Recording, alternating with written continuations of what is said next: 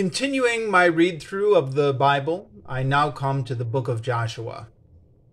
Now, uh, one of the things that I keep saying I'm going to uh, try to avoid doing in my read through of the Bible is uh, try uh, try to avoid going all Christopher Hitchens mode as I read through uh, these books. That that is, I'm, I'm going to try to avoid just making these reviews one long complaint about all the problematic parts of the Bible, and instead try and, as far as my limited abilities will allow, uh, get into the interesting uh, history or literature or storytelling elements that are here.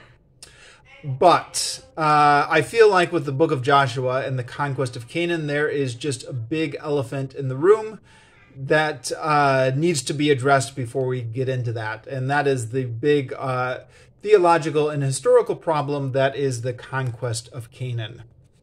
So it's a it's a theological problem uh, because in this book the tribes of Israel are commanded to go through Canaan and just kill everybody, uh, the young, the old, everybody, wipe wipe out the whole population, the the elderly, the infirm, the children, the babies uh, all all the animals and the livestock. Uh, it's all uh, put under the ban. Is is how the Jerusalem Bible occasionally translates this, meaning uh, everyone is just kind of wiped out uh, by the orders of Yahweh. Uh, in, in other words, it's been described as a genocide, and although it's never described in any great detail, like we don't get the details of the little babies being torn from their mothers and killed, uh, that is apparently what is happening within the world of the text. So, my upbringing, which I think is a, a very common experience for anyone who grows up in a religious upbringing, uh, is learning about these stories in Sunday school, learning about them in the, in the Christian school I went to, uh, and us school children being horrified by these stories and constantly asking our teachers, "But why? Why would God do that? It's it's uh, completely different than the view of God that you're brought up with in, in the 20th century uh, mainstream Christianity church, which is uh, loving and caring and peaceful.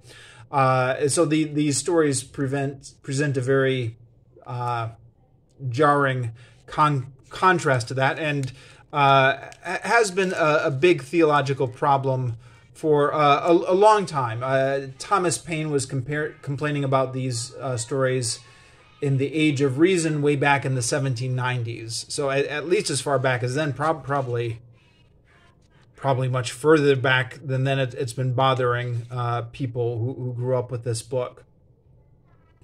So that's one problem. Uh, the other problem is a historical problem, and interestingly enough, the historical problem is almost going to cancel out the theological problem. The historical problem is that the overwhelming archaeological evidence shows that the conquest of Canaan never happened, as it's described in the book of Joshua. Uh, and uh, I don't expect you to take my word for it. Do your own research but uh, certainly everything I've read uh, has reinforced this. Um, it looks like the uh, tribes of Israel arose from within the Canaanite community and uh, uh, may have had some skirmishes with them uh, as they became a separate community, but but nothing. The, the destruction of Jericho, as it's recorded in the book of Joshua, never happened. the, the the invading army of the twelve tribes of Israel just uh, annihilating all these cities as described in the book of Joshua never happened. So, uh, in, in one way, the historical problem is almost a little bit of, of a relief. You, you read these horrible stories of genocide and you think, oh, how terrible. Uh, and then you find out that it never happened anyways, and you think, oh, oh, oh okay, well, I guess uh, I don't have to have that keep me, keeping me up at night. Uh, but that does raise the interesting question of why would somebody invent such bloodthirsty stories? I mean, if, if they really happened, you can imagine, uh, you know, uh, you can imagine bloody conquests like this in, in history. The, like the Anglo-Saxon invasion of England, I think, was quite brutal. The Vikings uh, came in and raided and pillaged stuff. Right? It's it's historical historically plausible that you could have tribes come in, wipe out the native inhabitants, and then say, well, God told us to do it, and that that could be like the theological justification for the atrocity after the fact. It's a little bit more difficult to ponder. Why just make something? Why, make a, a bloody genocide up if that's not even the real history? Uh, there are, to my understanding, a number of different explanations uh, for where these stories come from and why they come from. Uh, and uh, the uh, Christine Hayes's lectures for Yale Open University is a good source. Uh, the Bible Tells Me So by Peter Enns uh, is is also a good source both for the theological problems as well as the historical problems. Uh, but I the the it could be there it could be any number of things. Uh, Robin Lane Fox, a classical scholar, in his book uh, "The Unauthorized Version: Truth and Fiction in the Bible," uh, comments that there are some alternative explanations for where these stories in the Book of Joshua come from, but then says uh, ultimately we don't know. And he says we, we have to be careful about replacing one mythology uh, not based on facts with a new mythology that's equally not based on facts. Uh, so that there, there's there's lots of questions and, and suppositions about maybe why these stories are like this. It, it does seem to be, as Peter Enns points out in his book, The Bible Tells Me So, it does seem to be the culture of the Near East at this time to describe conquests in exaggerated terms like this, like we conquered the co- town and killed everybody, even when they really didn't kill everybody. Uh, he, he, he talks about uh, the king of Moab uh, writing uh, such a description in one of Moab's victories against Israel. Uh, so it, it um, you know, it's it's not like Israel is just the bad guy and Moab is just the innocent little lamb here. Apparently, that, that this was just the culture all around. Moab's not part of the conquest of Canaan, by the way, but just to just to bring that in here. Um, so I I felt like I had to get that out of the way. Uh, yes, the the the the, the morals here are problematic a lot has been written about it. Uh, again, uh, I'm going to largely sidestep the issue, but a good book to check out is "The Bible Tells Me So" by Peter Enns.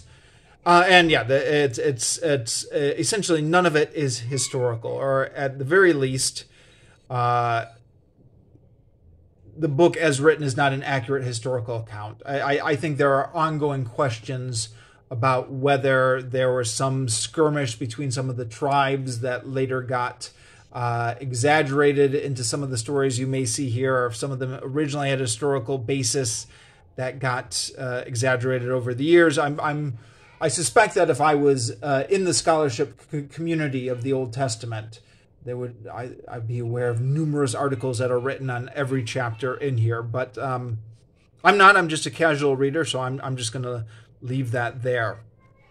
So, with that out of the way, let, us uh, maybe take an overview for this. So we uh, start uh, with all the tribes of Israel on the other side of the Jordan River, the uh, eastern side of the Jordan River. Now, in the previous book, well, Deuteronomy is the direct previous book, but Deuteronomy is not really a narrative. The previous narrative was Numbers. And in Numbers, uh, the uh, after wandering in the desert for 40 years, the Israelites emerged and went onto the eastern side of the Jordan River, where they conquered the kings and the kingdoms there. Uh, oh, what were their names? Uh, Og, king of Bashan, and was it the Amorites? Was the other one? Sorry, I, I, my memory is failing me. But there were two kingdoms on the other side of the Jordan River that they conquered. The tribes of Reuben, Gad, and half the tribe of Manasseh wanted to stay in these conquered territories on the other side of the Jordan River, even though this was not the promised land. Moses, uh, before he died, uh, said to them, "Okay, you can stay here, but you have to help your other tribes uh, win over the the Canaan. You have to join in the military campaign to, to for the conquest of Canaan." Uh, then we have the interlude of Deuteronomy, uh, and now we're picking up the narrative again. So the tribes are beyond the Jordan. Uh, they send in some spies to uh, explore Jericho, and this is where we get the famous story of the prostitute Rahab and the spies. The, the Jerusalem Bible, um, and uh, as I've mentioned in my previous videos, this is my first time reading the Jerusalem Bible. I, I grew up on the NIV version myself. So uh, all these footnotes are new to me. Uh, the Jerusalem Bible says that, that, there appears to be two different traditions in the Rahab story, uh, which is why there are some things that are made a big deal of and then never come up again, like uh, this the scarlet rope. So it, a big deal is made of how the scarlet rope must uh, hang outside of Rahab's door so that the Israelites know that everyone in her house is not to be massacred with the rest of the town. Uh, but that does not come up again uh, during the actual taking of Jericho.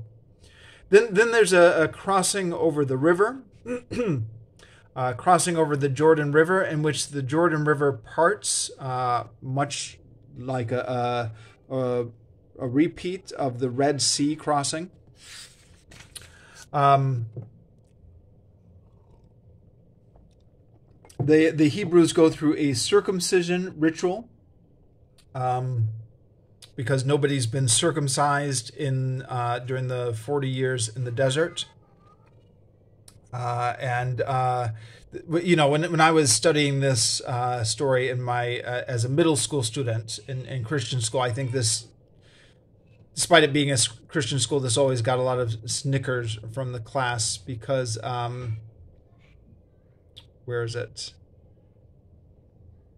They circumcised all the males, and then, if I'm remembering right, uh, they create a monument out of the foreskins. Or maybe I'm getting mixed up with a, a story earlier in the Bible. Sorry, I don't see that here. Uh, there's there's uh, two accounts of a stone monument being set up. And again, uh, the footnotes in the Jerusalem Bible show that these are two distinct traditions that are being uh, put side by side here about the stone circle. Then there's the taking of Jericho. And again, the, the Jerusalem Bible has some interesting footnotes that were not in my upbringing. Uh, but they say that their two narratives are conflated here. In the first, the Israelites marched around the walls in silence and are told to raise the great war cry. In the second, there's a procession with the ark to the sound of the priest's trumpets. Uh, in the text, the second account is bracketed. So th- this was something I did not learn during my upbringing, although it makes a certain amount of sense because I do remember being vaguely confused when I heard this story in Sunday school. They're they're supposed to march around in triumph, and yet there are all these trumpets. Sorry, I, I misspoke. They're they're supposed to march around in silence, and yet there's all these trumpets that are coming around with them, uh, and uh, it, it's a little bit unclear whether they're marching around in silence or not. So the, the, the Jerusalem Bible has gone so far as to put in brackets these accounts, which uh, they identify as coming from the second account, the account where they're not marching around in silence and they're making uh, a lot of noise. So that that was yeah. I'm I'm, I'm finding these footnotes uh, interesting. Um, then they uh, try to take the uh, yeah, and then the Jericho put under the ban. So that this is what um, put under the ban means every living thing killed. Uh, the exception being Rahab in her house uh, as her reward for saving the lives of the of the two spies. Um, but yeah, this is going to be common throughout the book of Joshua as everybody in the city ends up being killed. Um, then the Israelites try to take the city of Ai, but they're repulsed because one of the uh, people, Achan, had actually taken some stuff from Jericho, even though he was not supposed to take anything from it. It was all supposed to be destroyed uh, as kind of a sacrifice to God. But then, uh, once Joshua discovers that Achan has sinned and he is, uh, all Israel stoned him, uh, then the sin is atoned for, and then they are able to take Ai. Um, uh, then the next point in the narrative is the ruse of the Gibeonites. So uh, the Gibeonites are living in Canaan and they don't want to be massacred. So they do a little trick where they pretend to be coming from far away and they put on old clothes and crumbly bread and uh, have old wineskins. And they come up to Joshua and the Israelites and say, We don't live in Canaan, we're from very far away. We'd like to make a peace treaty with you. Uh, the text identifies the the problem with Joshua is that he forgets to check with God before making the tech, before making the pact. And then when they find out that the Gibeonites are actually Canaanites, uh, they still have to honor their pact uh, that they made with them. Uh, but the the Gibeonites are going to be enslaved. Um, yeah. So the leader went on, "Let them live, but let them be woodcutters and water carriers in the service of the whole community." Uh, I don't know if this is yeah.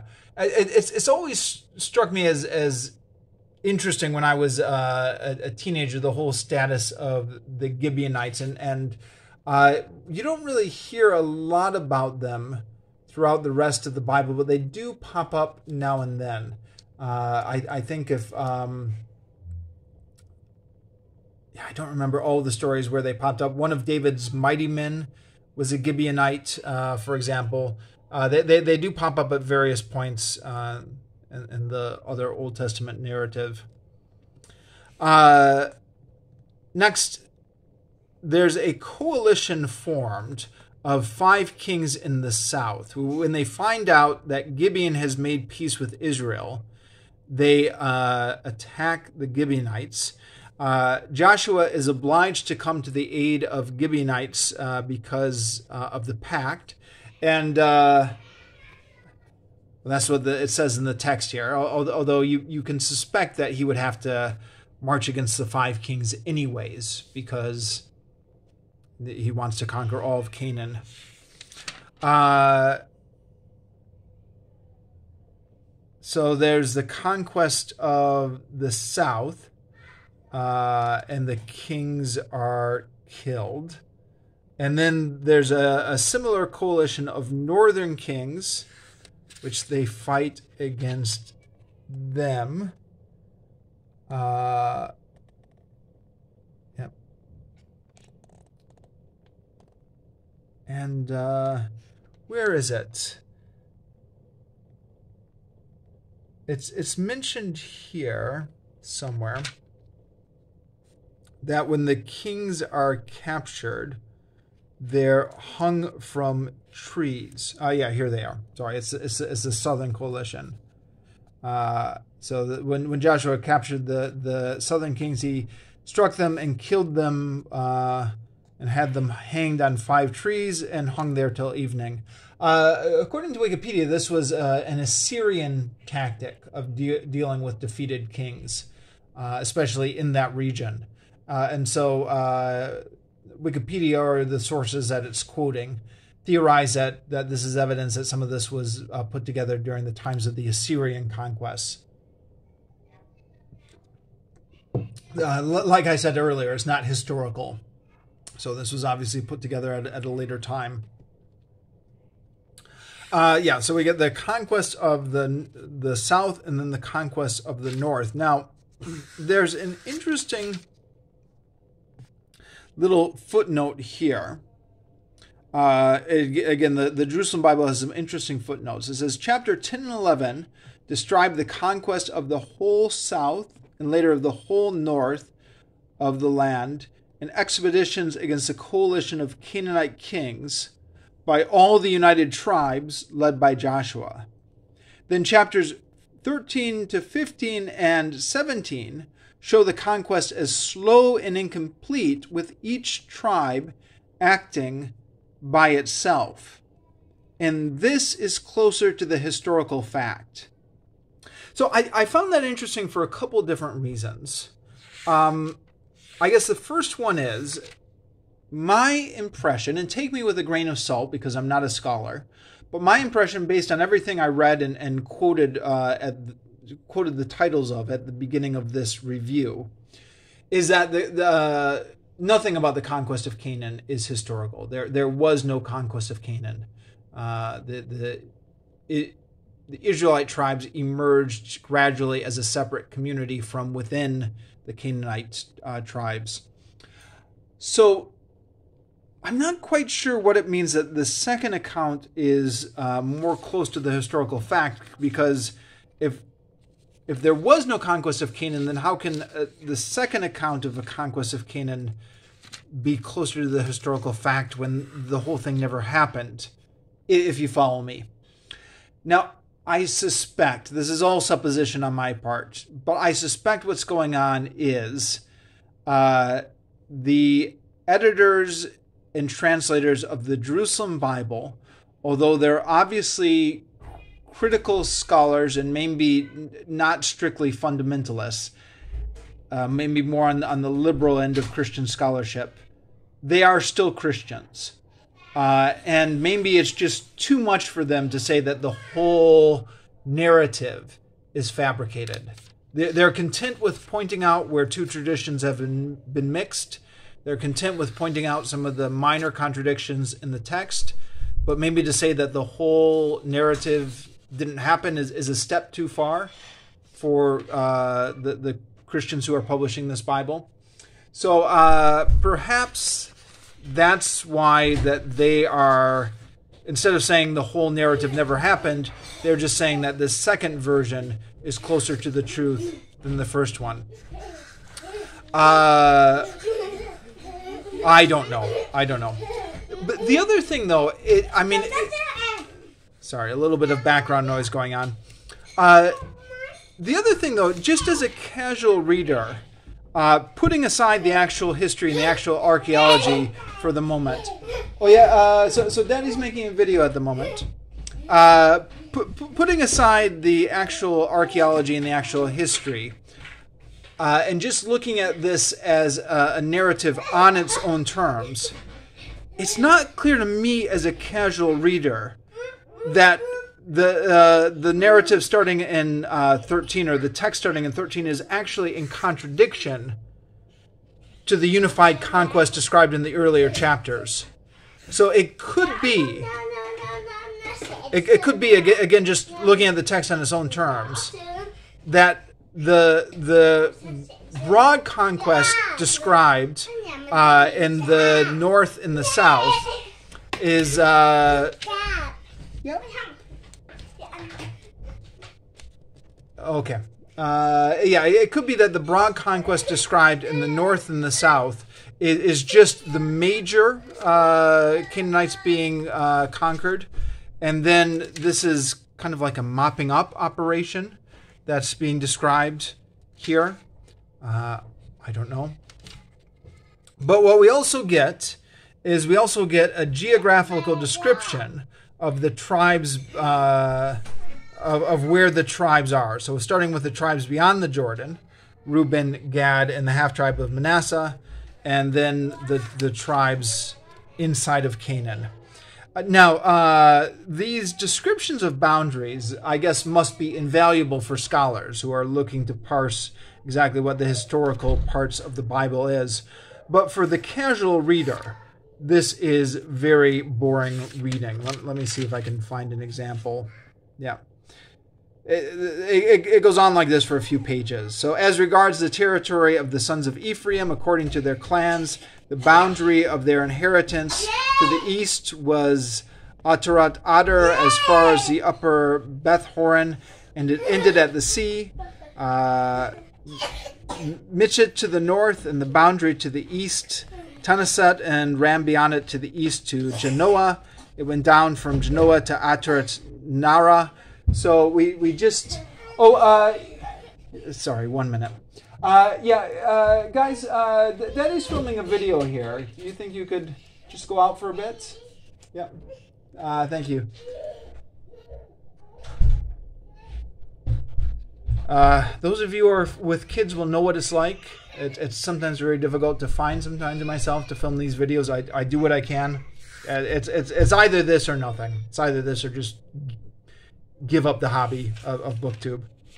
Um, yeah, so it, it's it's it's very boring to read this, especially without benefit of a map. Uh, although there are maps online you, you can look at. Uh, speaking of which, when I was trying to look at some maps to help me make sense of this, I, I uh, came across once again the same podcast that I had come across with numbers in Deuteronomy, uh, which is uh, uh, what was it called? History in the Bible podcast. Uh, and uh, the, the, the guy who who does that go, goes ahead and um, oh guys, Rosa, Leo. Uh, the, the, guy who does that podcast uh, describes this as the boring half of Joshua. So yeah, uh, certainly for the casual reader, just reading all these lists of geographical boundaries, this is the boring half of Joshua. Uh, he also says that uh, the geography here is a little bit confused. He's a scholar, I'm not, so we'll take his word for it. Um, but apparently, the the geographical uh, boundary descriptions sometimes don't match the descriptions of the cities contained within them. Um, for uh, who knows what reason, I, I guess maybe uh, the the boundaries may have been shifting back and forth over time. Um, yeah. Uh, then uh, the tribes from across the Jordan, Reuben, Gad, and the half tribe of Manasseh, are sent back. There's uh, almost a little civil war between them when they build their own altar to Yahweh, which they're not supposed to do. Uh, you're, you're supposed to go to Yahweh's designated temple to make sacrifices to him. You can't just make sacrifices wherever you want, is my understanding of, of what this um, what this little problem is about. Uh, but after they talk through it, peace is restored. Uh, but we are setting up a, a conflict which um, I don't actually remember this so much from my own Sunday school days, but the podcast I was just quoting, History in the Bible, says this will continue to be a theme uh, in the narrative going forward. The the the tension or the unease that there are two and a half tribes living outside of the promised land, living on the east side of the River Jordan. Uh, then, because this whole thing is written by the Deuteronomistic historian, who is setting up a historical narrative in which if Israel worships God, they will um, thrive, and if they uh, worship other gods, they will be punished. And, and remember, the Deuteronomistic historian is trying to make sense of, of why uh, Israel and Judah fell to Assyria and Babylon. We uh, have this uh, here where, where uh, Joshua is giving one final speech to Israel about how they have to serve Yahweh. And if they serve Yahweh, good things will happen to them. And if they don't serve Yahweh, bad things will happen to them.